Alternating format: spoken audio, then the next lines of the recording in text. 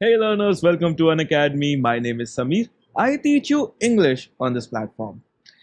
Last 50 days title देख के समझ में आ गया होगा काफ़ी घबराहट हो रही होगी तुम बच्चों को नहीं हो रही कोई बात नहीं हो जाएगी क्योंकि बेटा जैसे जैसे दिन पास आएँगे पेपर जैसे जैसे पास आएगा डर तो लगेगा ना देखो तैयारी तुम सबकी अच्छी चल रही होगी नहीं चल रही होगी तो मैं उसके और अच्छा करने के लिए इस वीडियो को लेके आ रहा हूँ अगर नहीं अच्छी चल रही तो इस वीडियो को एंड तक ज़रूर देख लेना। मैं वो इंपॉर्टेंट टॉपिक्स तुम्हें ज़रूर बता दूँगा कि लास्ट 50 डेज़ के एंड तक जब पेपर में देने जाओगे, जब तुम जिस दिन पेपर दोगे, उस दिन इंग्लिश सेक्शन तो अच्छा जाएगा ही जाएगा। सच्ची बता रहा हूँ। अभी मुझे पता है कि कुछ बच्चे स्कूल के साथ इसको दे रहे होंगे, कुछ ड्रॉपर्स होंगे जो स्कूल के साथ होंगे, वो कह रहे होंगे सर हम तो बोर्ड्स की तैयारी कर रहे थे, हमसे नहीं हो पाया। कोई बात नहीं बच्चे I understand we have an number of reasons excuses sorry but बच्चे रियलिटी तो यही है ना। पेपर वाले दिन कोई भी आपके रीजन कोई भी आपके एक्सक्लूजेज नहीं एक्सक्यूजेज नहीं पूछेगा, या फिर सुनेगा, या फिर एक्सेप्ट करेगा। It would be just a score card all India rank सब यही जानना चाहेंगे कि किसके ऑल इंडिया रैंक वन आई, किसका कितना स्कोर आया, किसको कहाँ एनएलयू में कट ऑफ़ किया जाएगी। मतलब बहुत सारे बहुत सारे क्वेश्चन होंगे। तो इन क्वेश्चन से बचने के लिए इस वीडियो को बना रहा हूँ, ताकि रेडी रहो, तैयार रहो। अगर इससे पहले वाला मेरा वीडियो नहीं देखा हुआ है, जिसमें मैंने वोकेबलरी के बारे में बात की हुई है, उस वीडियो में तुम्हारा वोकेबलरी सॉर्टेड है कि लास्ट मैंने पूरा अच्छे से लास्ट फिफ्टी डेज़ किया, मैंने उसको हिसाब से तुम्हें थर्टी डेज़ के हिसाब से वो वीडियो में बता दिया कि लास्ट थर्टी डेज़ में अपनी वोकेबलरी कैसे इंप्रूव करनी है। तो उस वीडियो को प्लीज़ रेफर कर लेना। उसके अलावा तुम्हारे लिए एक और चीज़ तुम्हें अवेयर करवा दूँ। लास्ट फिफ्टी डेज़ के लिए हम लोग क्रैश कोर्सेज वाले बैचेस चल रहे हैं, जो कि स्क्रीन में तुम्हें दिख रहा है। इन इन बैचेस में तुम मेरी क्लासेस में एनरोल कर सकते हो। लास्ट फिफ्टी डेज़ में मैं तुम्हें क्यू करवा रहा हूँ, पिछले फोर्टीन ईयर्स के। जिसमें हमारे एनएलयू के भी आते हैं, क्योंकि क्लैट को आए हुए इतना टाइम नहीं हुआ है तो मैं तुम्हें हर पैटर्न के क्वेश्चन कराने वाला हूँ। अब तुम में से कुछ बच्चे ये बोलोगे, सर, क्यों करा रहे हो पी वाई क्यू पिछले तीन साल का ही पैटर्न चल रहा है। तो मैं तुम्हें सिंपल चीज़ यही बताऊँगा कि अगर अपने पैटर्न को इंप्रूव करना है मतलब क्लैट के पैटर्न से अगर तुम्हें अपने आप को रूबरू कराना है या तो उसी में प्रैक्टिस करना है तो मॉक दो। बट अगर तुम्हें अपने आप को क्लैट के क्वेश्चंस को देने के लिए कॉन्सेप्ट को देने के लिए तैयारी करनी है तो मैं तुम्हें एक चीज़ बताऊँगा पीवाई की question are the best thing क्योंकि वही बनाते हैं क्वेश्चन पैटर्न चेंज हो जाता है। क्वेश्चन तो वही रहते हैं। अब तुम ये कहोगे, नहीं सर, पहले तो हमारे पास कॉम्प्रिहेंशन पैसेज ही नहीं आते थे। पहले हमारे पास एरर स्पॉटिंग और ये सब के क्वेश्चन आते थे। इंग्लिश तो नहीं बदल जाती ना क्रिटिकल रीजनिंग तो नहीं बदल जाएगी ना। तो that's what I mean like you know what that's what I mean to say here कि आपका जो सिलेबस है कॉम्प्रिहेंशन बेस्ड सिलेबस है। क्वेश्चन घिसे पिटे, वही आठ टाइप के आते हैं main idea like you know figure of speech क्या ऑथर यहाँ पे इन्फर कर रहा है, किस चीज़ को कंक्लूड कर रहा है। मैं वो उसकी लिस्ट भी आपको इस वीडियो के एंड तक दिखा दूँगा सो so दैट अगर आप खाली वही क्वेश्चन करना चाहो तो वो आप करो, मगर उसको किस तरीके से करना है, वो वीडियो के मैं एंड तक बताऊँगा, ठीक है? तो सबसे पहली चीज़, आप लोग को मैं सारे के सारे पी क्यू कराने वाला हूँ प्रैक्टिस क्वेश्चन जिनकी आरसीज मैंने एडिटोरियल आरसीज बना रखी है, वो इन क्लासेस में कराऊँगा कॉन्सेप्ट पढ़ाऊँगा इंपॉर्टेंट कॉन्सेप्ट अगर तुम उन क्लासेस नहीं पढ़ना चाहते तो मैं इस वीडियो में तुम्हें ये बता देता हूँ कि सबसे पहली चीज़, जो लास्ट फिफ्टी डेज़ में हमें, जो इंपॉर्टेंट टॉपिक्स हमें पढ़ने ही पढ़ने हैं, वो हैं ग्रामर और ग्रामर में भी पूरी ग्रामर नहीं पढ़नी, बता रहा हूँ क्या क्या पढ़ना है। क्यों? अब एक रीज़न देता हूँ ग्रामर से क्वेश्चन नहीं आते हैं बट क्रिटिकल रीजनिंग से तो आते हैं। और critical reasoning as a topic अगर मैं देखूँ, मैं जितने सालों से पढ़ा रहा हूँ बच्चों को, खुद को भी अगर बात करूँ, जब मैं तुम्हारी उम्र का था, जब पढ़ाई कर रहा था, तैयारी कर रहा था तो एक चीज़ देखी थी critical reasoning as a topic सबको आ जाता है। तो मैं से मैं कितनों से पूछूँगा प्रेमिस क्या होते हैं, बता दोगे। कंक्लूजन क्या होता है, बता दोगे। अजम्पन क्या होती है, बता दोगे। थोड़ी कन्फ्यूज़न होती है, क्योंकि उसके कॉन्सेप्ट तो हमें समझ में आ जाता है बट जब एप्लीकेशन प्रैक्टिस की बारी आती है, कोई क्वेश्चन सही नहीं होता। गलती क्या हो रही है? रीज़न क्या है? रीज़न यही है कि जब हम लोगों ने ग्रामर पढ़ी, हमने उसे फिल इन द ब्लैंक्स के कॉन्सेप्ट से पढ़ी। हमने कभी भी उसके कॉन्सेप्ट को समझा ही नहीं। जैसे अगर मैं तुम्हें बात करूँ लिंकिंग वर्ब और हेल्पिंग वर्ब की। इससे हमें पता चलता है कि एक नाउन दूसरे नाउन के साथ किस तरीके से लिंक्ड है। क्या रिलेशन है? जब ये रिलेशन पता चलेगा, तभी तो कोई रीजनिंग डेवलप करोगे ना। कैसे हेल्प कर रहा है? कैसे लिंक कर रहा है? देर आर सेवरल रीजन ऐसी बहुत सारे ऐसे टॉपिक्स हैं जो बहुत इंपॉर्टेंट टॉपिक्स होते हैं ग्रामर के बट हम लोग इग्नोर कर देते हैं क्योंकि सिलेबस का पार्ट नहीं है। And I totally understand you बच्चों। देखो, जैसे जैसे पेपर दे रहे होते हैं तो हम लोग सबसे शॉर्टकट शॉर्टेस्ट वे या शॉर्टकट बोल दो, इसकी तैयारी करके ही हम लोग हमेशा एग्ज़ाम की तैयारी करना चाहते हैं। बट एक्चुअली में if you want to score good grammar बहुत इंपॉर्टेंट रोल प्ले करने वाली है। आपकी इस फिफ्टी डेज़ में। अगर आपने ग्रामर को अभी तक नहीं छुआ, ध्यान नहीं दिया है तो इन इन टॉपिक्स को तो ज़रूर पढ़ लेना। मैं तो पढ़ाऊँगा ही पढ़ाऊँगा बट इन टॉपिक्स को खुद से भी ज़रूर पढ़ लेना। पहला है वर्ब्स में helping verb and linking verb उसके बाद सेकेंड टॉपिक है प्रोनाउन प्रोनाउन में आपको सारे के सारे प्रोनाउन पढ़ने, क्योंकि ये हमेशा सब्जेक्ट को रिप्लेस करते हैं, यानी नाउन को रिप्लेस करते हैं। तो पैसेजेस में आपको भी पता है कि मेजोरिटली हम लोग कभी भी डेटा को जब आपको दिया जाता है तो कंपाउंड स्टेटमेंट्स दी जाती है। तो एक और टॉपिक आ जाता है प्रोनाउन के साथ साथ आपको टाइप्स ऑफ़ सेंटेंसेस भी पढ़ने हैं, जिसमें आपको पता होना चाहिए कि आपको जो पैसेजेस मिल रहे हैं, वो कौन से टाइप के सेंटेंसेस मिल रहे हैं, उसमें डेटा कैसे प्रेजेंट किया जाता है। जैसे कंपाउंड स्टेटमेंट में आपको दो डेटा एक ही सेंटेंस में मिल रहा है कॉम्प्लेक्स स्टेटमेंट में आपको कंडीशंस दी जा रही हैं, उस कंडीशंस में कैसे वो कंपाउंड स्टेटमेंट का ही एक पार्ट होती है, ये सारी चीज़ आपको अभी कंफ्यूजिंग लग सकती है बट जैसे ही उसके थ्योरी टॉपिक्स को पढ़ोगे तो मुझे सच में थैंक यू लिखोगे। तो प्लीज़ सबसे पहले टाइप्स ऑफ़ सेंटेंसेस वर्ब में हेल्पिंग वर्ब लिंकिंग वर्ब सारे टाइप के प्रोनाउंस अच्छे से थ्योरेटिकली पढ़ लेना। क्योंकि रिलेटिविटी प्रोनाउन अभी जब तुम पढ़ोगे सारी चीज़ों को, तुम्हें समझ में आएगा कि मैं यही टॉपिक्स को ग्रामर के क्यों एम्फोसिस कर रहा हूँ। इसके अलावा जो आपको टॉपिक्स ग्रामर में पढ़ने हैं, वो है टेंसेस प्रपोजिशंस कंजंक्शंस अब एक एग्जांपल देता हूँ, तुम समझ जाओगे कि why I was emphasizing on this topic या फिर पर्टिकुलरली कंजंक्शन या फिर टेंसेस कंजंक्शन का अगर मैं एक एग्जांपल दूँ I like you but as a friend I am very sure ये सेंटेंस हमेशा आपने कभी ना कभी लाइफ में अपने सुना ही होगा. I like you but as a friend ये जो आई लाइक यू था, फिर उसके बाद में जो हमने बट करके कंजंक्शन यूज़ कर लिया सेंटेंस पॉजिटिव से नेगेटिव हो गया, नहीं हो गया? जो बच्चे की अच्छी रीजनिंग होगी एक्सपीरियंस होगा, वो समझ गया कि हाँ पॉजिटिव का नेगेटिव हो चुका है. ऐसे ही रीजनिंग ये जो रीजनिंग हमने प्ले किया कंजंक्शन का यहाँ पे एक रोल था, ऐसे ही जो मैंने बाकी टॉपिक्स तुम्हें बताए हैं. जब तुम कभी भी एक रीजनिंग एक्सट्रैक्ट कर रहे होगे, उनका भी इक्वल रोल होता है. तो मैं एक बार फिर से तुम्हारे लिए दोबारा बता देता हूँ कि तुम्हें ग्रामर में क्या क्या पढ़ना है। सबसे पहला types of sentences compound simple complex second verbs में helping verb linking verb third topic हमारा क्या होगा? प्रोनाउंस सारे टाइप के प्रोनाउन फोर्थ टॉपिक हमारा होगा प्रेपोजिशन फिफ्थ होगा टेंसेस टाइमलाइन जाना बहुत ज़रूरी है कि वर्ब कब हो रहा है, कैसे हो रहा है। नहीं तो कैसे समझोगे कि कौन सा कार्य हो चुका है, कौन सा कार्य पास्ट में है, कौन सा कार्य कंटिन्यूस हो रहा है। हिंदी में समझ में आ जाता है मगर जब इंग्लिश की बारी आती है सब के सब हम फेल कर जाते हैं। सच्ची बात बता रहा हूँ इंग्लिश में जितने अच्छे हो, हिंदी में समझ जाओगे, चल रहा है, चलता जा रहा है। बट जब वही सेंटेंस इंग्लिश में आ जाता है कन्फ्यूज़न क्रिएट हो जाती है। तभी मेजोरिटी बच्चा हमें ये बोलता है, सर ऑप्शन ए और बी में ना बड़ी कन्फ्यूज़न होती है। दोनों एक ही जैसे लग रहे हैं, क्योंकि टेंसेस बहुत वीक है तुम्हारे, जो तुम्हें रीजनिंग पता ही नहीं करने दे रहा कि वो एक्शन हो भी चुका है या नहीं हो चुका और बहुत है वेरियस रीजन है इसके पीछे।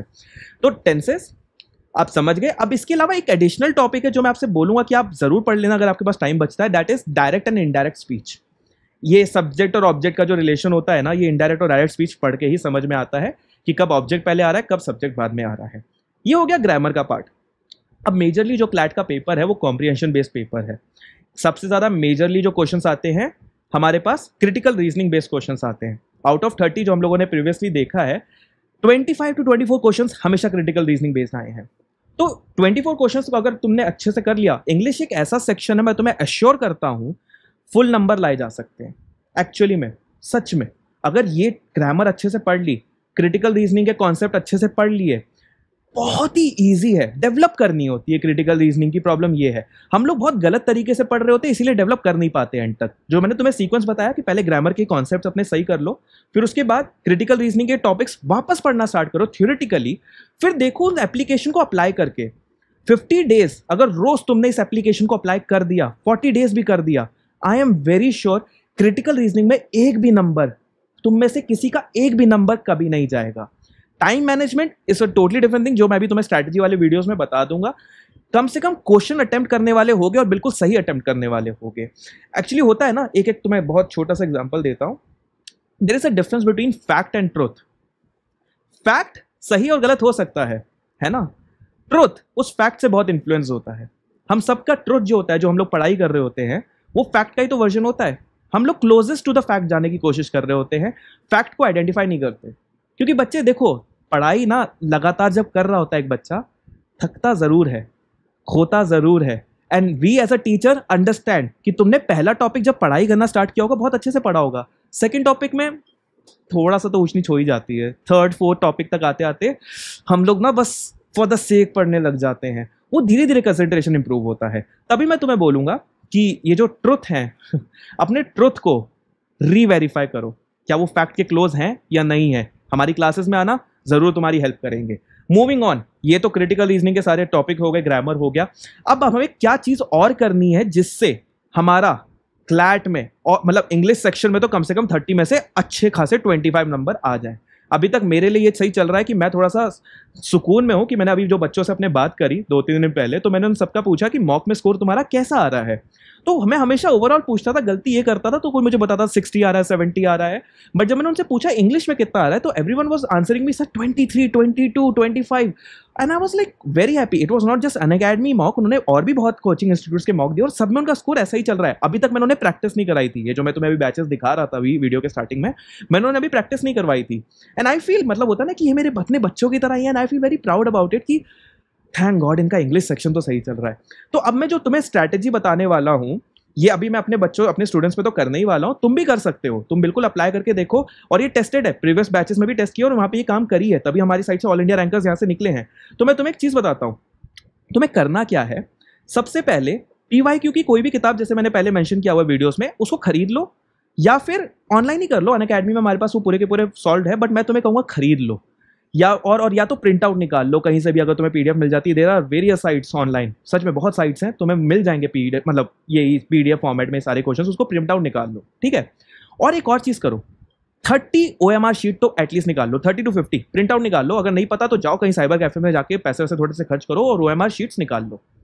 और उस क्वेश्चन को जो तुम पी वाई क्यू के कर रहे हो ओ एम आर शीट्स में ही करना। ठीक है टाइमर वाइमर के लिए मैं अभी कुछ नहीं बोलूँगा, वो एक डिफरेंट सेपरेट हमारा एक बिल्कुल वीडियो होगा, क्योंकि स्ट्रैटेजी में लग जाएगा बेटा पंद्रह बीस मिनट अच्छे से समझाने में कि कौन सी चीज़ कैसे करनी है।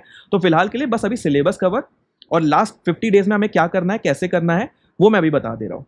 सबसे पहली चीज़ वो M R sheet P Y Q question अब इसके अलावा बच्चे, हम लोग ये सोचते हैं ना कि हमें नहीं करना चाहिए पी वाई क्यू जैसे मैं तुम्हें भी बता रहा था कि आधे बच्चे तो पी वाई क्यू करते ही नहीं है। मतलब तीन साल के करेंगे, उससे पहले के करेंगे ही नहीं। दे वुड बी लाइक अरे पैटर्न नहीं चेंज पैटर्न चेंज हो गया था, वैसे क्वेश्चंस नहीं आते थे. The thing is we have to understand and analyse the question वो कहाँ से पैसेज लेके आते हैं? वो किस तरीके के तुमसे क्वेश्चंस पूछते हैं? क्या तुमसे कॉम्प्रीहेंड करने की एक्सपेक्टेड रखते हैं? तो अगर तुम पिछले चौदह साल के क्वेश्चन सॉल्व कर लोगे आई एम वेरी श्योर तुम क्लैट की जो पेपर क्रिएटिंग वाले कंस्ट्रॉनियम है, उसको पूरा का पूरा अंडरस्टैंड कर लोगे। हम टीचर्स यही तो करते हैं। हम इनके ब्रेन को कैसे पढ़ लेते हैं? तुम्हें लगता है कि हमारे वहाँ पे कोई दोस्त होगा जो हमें बता रहा होगा कि पेपर कैसे आता है? हम लोग जो कॉन्सेप्ट को प्रिडिक्ट करते हैं, वही कॉन्सेप्ट के क्वेश्चन आ जाते हैं। क्योंकि वो कॉन्सेप्ट को एक पैटर्न में रिपीट करते हैं। जब तक तुम ये सॉल्व नहीं करोगे, तुम कभी भी इसे समझ नहीं पाओगे। और तुम्हारी जो प्रिपरेशन जर्नी है, बच्चे वो सिर्फ़ और सिर्फ़ एक प्रिपरेशन जर्नी बन के रह जाएगी। क्योंकि in the end we both know हमें सिर्फ़ और सिर्फ़ हमारे स्कोर कार्ड पे जज किया जाएगा। हमें ये नहीं देखा जाएगा कि हमने दस घंटे पढ़ाई की। हमसे ये नहीं पूछा जाएगा कि तुमने कितनी बार रोए होगे रातों में। सब तुमसे एक चीज़ पूछेंगे, रैंक आई। नहीं आई तो मुस्कुरा के तुम्हारी लाइफ से आगे निकल जाएँगे और कोई तुम्हें पूछेगा नहीं। तुम्हारी ये पूरी के पूरी साल, महीनों की जो जर्नी है राख बन जाएगी। तो इससे बचते हैं। सबसे पहली चीज़ पीवाईक्यू के क्वेश्चंस करते हैं। ठीक है? सैंपल पेपर्स अभी तो नहीं आया, मैंने जैसे वेबसाइट पे देखा तो जैसे ही आएगा तो एक तो उसको भी देख लेना, उससे भी थोड़ा सा आइडिया मिल जाएगा, नहीं तो मैं यहाँ पे सबसे पहले वीडियो लेके आ जाऊँगा एनालिसिस कर लूँगा तुम्हारे लिए, ताकि तुम्हें भी थोड़ा सा और ईजी रहे। बट एक चीज़ तुम्हें और करनी है, ये पीवाईक्यू और ये ओ शीट के साथ साथ तुम्हें ना आर्टिकल्स पढ़ने हैं। तुम्हारे लिए मैं हाँ ये 200 एक आर्टिकल्स की एक लिस्ट बना रहा हूँ, जो मैंने बच्चों को अभी प्लस वाले स्टूडेंट्स को अपने शेयर की थी। तुमसे भी कर दूँगा। इन द फ्यूचर जैसे हमारा एक वीडियो बनेगा, वो स्ट्रैटेजी वाला या फिर हाउ एडिटोरियल वाले, जैसे एडिटोरियल आर्टिकल्स को पढ़ना चाहिए लास्ट मिनट में अभी तो मैं उसके लिए तुम्हारे उस वीडियो में वो दो आर्टिकल्स डाल दूँगा, जो कि मैंने सेल्फ क्रिएट किए हुए हिंदूज इंडियन एक्सप्रेस और कुछ इंटरनेशनल उससे। बट तुम्हारे साथ ये कि क्लैट का पेपर जो आया है, मैंने अभी जो पिछले पैसेजेस देखे हैं, वो हमेशा हिंदूज या फिर इंडियन एक्सप्रेस से ही निकला है। कुछ इक्के दुक्के होंगे जो कि हाँ कुछ मैगजीन से आए हुए हैं but majorly blindly passages Hindu से आए हुए हैं और इंडियन एक्सप्रेस से आए हुए हैं। तो तुम्हें क्या करना है? मैंने देखा यूट्यूब के चैनल में या फिर बहुत सारे बच्चे टेलीग्राम में भी मतलब एक दूसरे से शेयर करते रहते हैं चीज़ों को। कभी भी हिंदूज के आर्टिकल जो जो पढ़ रहे हो, एक सर्टेन थीम्स में तुमसे अभी यहाँ पे हम लोग डिस्क्रिप्शन में ऐड कर देंगे। ये ये थीम्स के जब भी तुम आर्टिकल्स पढ़ रहे हो, अपने आप से कुछ सवाल पूछने पहला सवाल ऑथर का मेन आइडिया क्या है? दूसरा सवाल, इसका टाइटल क्या हो सकता है? दिया होगा यार वहाँ पे आर्टिकल में बट इसका टाइटल और क्या हो सकता है? तुम दोगे उसको टाइटल फिर उसके बाद थर्ड सवाल पूछोगे। ऑथर जो है, किस किस चीज़ों को चुनेगा?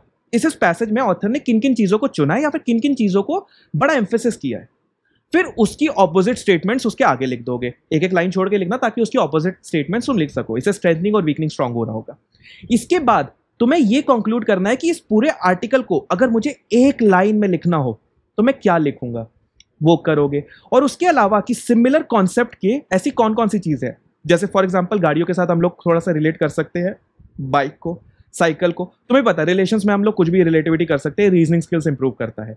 ये सवाल पूछ लोगे ना ऑटोमेटिकली ही तुम्हारा एक आरसी प्रैक्टिस हो रहा है। रीडिंग हो रही है कॉम्प्रिहेंशन इंप्रूव हो रही है, ताकि जो तुम समझ रहे थे, ऐसे कम से कम पचास सौ आर्टिकल्स के साथ भी कर लोगे ना पेपर से पहले, दो आर्टिकल के साथ भी कर लोगे डेली में तुम्हारे रीडिंग कॉम्प्रिहेंशन में एक नंबर नहीं जा रहा। क्योंकि अभी तक हम लोग ना आधे टाइम तो यही ढूंढ रहे होते रीडिंग कॉम्प्रिहेंशन प्रैक्टिस कहाँ से करें इंप्रूव कहाँ से हो, हमें हमें पता नहीं। पी वाई क्यू करोगे? और ये ये जो टेक्निक मैं तुम्हें बता रहा हूँ, अगर ये लास्ट तुमने फिफ्टी डेज़ में कर ली इंग्लिश में नंबर कहीं नहीं जा रहे तुम्हारे आई स्वेयर इसके अलावा मैंने एक टॉपिक तुम्हें अभी नहीं बताया वीडियो के स्टार्टिंग में that was figure of speech के क्वेश्चन ये आते ही आते हैं। फिगर ऑफ़ स्पीच के क्वेश्चन के लिए अगर तुम्हें नहीं पता तो आई एम वेरी श्योर मेरी क्लास हो रखी है, उसका भी लिंक मैं तुम्हें दे दूँगा, जब भी मुझे फ्यूचर में मिलोगे। यहाँ पे मैं तुम्हें बस इतना बता देता हूँ कि ये टॉपिक्स तुम पढ़ लो लास्ट फिफ्टी डेज़ के लिए इनफ है। मैं और कोई टॉपिक को रिकमेंड नहीं करूँगा, क्योंकि मैं देख रहा हूँ कि क्लैट का जो पेपर है, पिछले तीन साल से जो हम लोग क्वेश्चन देख रहे हैं, यही क्वेश्चन रिपीटेड पूछे जा रहे हैं, जो कि अभी तो मैं स्क्रीन में मैं दिखा भी दूँगा। यही क्वेश्चन हमसे बार बार पूछे जा रहे हैं। तुम खुद भी देखोगे पीवाई के क्वेश्चन यही क्वेश्चन पूछे जा रहे हैं। हम लोग को जो प्रॉब्लम आ रही है, हम लोग मोटिवेटेड नहीं है, हम ज़्यादा सोच रहे हैं, हम घबरा रहे हैं इस पेपर को लेके, हमें ये डर लग रहा है कि हमारा पेपर ना छूट जाए, हम हम मतलब वहाँ पे जाके बिल्कुल से होता ना लॉस्ट फील ना करें, जैसा अभी हम लोग फील कर रहे हैं, हमारे मॉक में नंबर नहीं बढ़ रहे रीज़न यही है क्रिकेट क्योंकि रीजनिंग नहीं इंप्रूव हो रही है। सच्ची बात है, तुम्हारे नंबर इसीलिए इंप्रूव नहीं हो रहे क्योंकि क्रिटिकल रीजनिंग इंप्रूव नहीं हो रही। तो उसको इंप्रूव करने के लिए भी मैं तुम्हें टिप्स अभी जो बताई है ग्रामर के टॉपिक्स और रीजनिंग वैसे इंप्रूव कर लो। अपने आप ही रीडिंग कॉम्बिनेशन में भी नंबर इंप्रूव होते हुए दिख जाएँगे और बहुत सेक्शंस में तुम्हें इंप्रूवमेंट दिखेगी। कॉन्फिडेंस आएगा तुम्हारे अंदर। सच बता रहा हूँ, इन चीज़ों को करके देखो। नहीं तो मैंने तुम्हें बताया, मैं क्लासेस ले रहा हूँ अन अकेडमी प्लेटफॉर्म पर आओ। लास्ट दो महीने में भी बहुत कुछ हो सकता है, मेरे पे फेथ रखो अन अकेडमी पे फेथ रखो। हम सब मिल के आज भी क्रैक कर सकते हैं जाके चीज़ों को, अगर तुम्हें लगता है कि अभी तक तुम बहुत पीछे हो। तो सबसे पहली चीज़, हार नहीं माननी, खुद पे भरोसा रखना है, क्योंकि तुम ही खुद को हरा सकते हो, या तो तुम ही खुद को गिरा सकते हो, और ये भी बड़ी सच्ची बात है। तुम्हें भी पता है लाइफ में हम लोग ना दूसरों से डिस्ट्रैक्ट नहीं होते सोशल मीडिया से डिस्ट्रैक्ट नहीं होते, हम खुद ही को डिस्ट्रैक्ट करते हैं। ये तुम लोग को अभी लाइन नहीं समझ में आएगी बट अगर कभी भी फुर्सत मिले, पाँच मिनट अपने साथ बैठना, और नोटिस करना कि सबसे बड़े दुश्मन और सबसे बड़े दोस्त तुम खुद ही के होते हो। क्लैड का सपना देख रहे हो, मगर क्या मेहनत कर रहे हो? सत्तर हज़ार लोगों से डर रहे हो, मगर क्या उन सत्तर हज़ार को घूरने की हिम्मत कर रहे हो? उनसे बेटर रिज़ल्ट लाने की हिम्मत कर रहे हो? उनसे बेटर पढ़ने की हिम्मत कर रहे हो? यहाँ तुम्हारे पास जो आंसर आएगा, वो तुम्हें बताएगा कि तुम्हारी उस दिन ऑल इंडिया रैंक आ रही है या नहीं आ रही। सिलेबस हर सत्तर हज़ार बच्चा करके आएगा। उस पेपर के बारे में सत्तर हज़ार बच्चा पढ़ के, जान के किस नेचर का पेपर है, किस तरीके से पढ़ना है, सब करके आएगा। बट ऑल इंडिया रैंक जिसकी आती है ना, सिर्फ़ एक ऐसे इंसानों की आती है जो अपने पे भरोसा करते हैं, अपने आप को टिल दी एंड पढ़ाई पे लगाते हैं। किसी दिन पाँच घंटे पढ़ोगे, किसी दिन तीस मिनट पढ़ोगे, किसी दिन दस घंटे पढ़ोगे। पर जो एंड तक पढ़ लिया, और ये जो तरीके मैंने तुम्हें बताए, ये भी कर लिए, ये तो हम ऐसे एक्सपर्ट ही तुम्हें बता रहे हैं। बट अगर तुमने खुद की अपनी फ्लॉबैक्स अपने ड्रॉबैक्स अपने फ्लॉज अपनी मतलब स्ट्रेंथ ये सब चीज़ें आइडेंटिफाई कर ली, अरे कोई तुमसे नंबर नहीं छीन रहा, तुम बिल्कुल से नंबर लेके आओगे। तो इस वीडियो को जो मैं तुम्हें बताया है, इन चीज़ों को बहुत ध्यान रखना। हम हैं तुम्हारे साथ, ऐसे वीडियोस बनाते रहेंगे, तुम्हारी हेल्प करते रहेंगे। तो भरोसा रखो और खुद के साथ रिलैक्स होकर मन लगा के पढ़ाई करो। रिज़ल्ट जो आएगा, हम तब भी तुम्हारे साथ रहेंगे रिज़ल्ट आएगा, तब भी तुम्हारे साथ रहेंगे। तो वीडियो अच्छा लगा हो, कुछ इन्फॉर्मेशन अच्छी मिली हो तो लाइक ज़रूर करना शेयर भी कर देना। एंड मैं ऐसे वीडियोस लेके आता रहूँगा, और क्लासेस में मुझे ज़रूर आके बताना कि हाँ ये वीडियो कैसा लगा। तो see you all in my classes अगर तुम एडिशनली अगर सब्सक्रिप्शन लेना चाहो तो मेरा कोड सैम यूज़ कर सकते हो। ये क्लासेस फ्री पेड दोनों होती है। अगर फ्री क्लासेस में भी एंटर करना है, तब भी सैम कोड लगा लेना। अगर सब्सक्रिप्शन ले रहे हो मैक्सिमम डिस्काउंट चाहिए, तब भी सैम कोड लगा लेना। एंड ऑल दी बेस्ट बच्चे। भरोसा रखना, हो जाएगा। मेरा आशीर्वाद तुम्हारे साथ है। All the best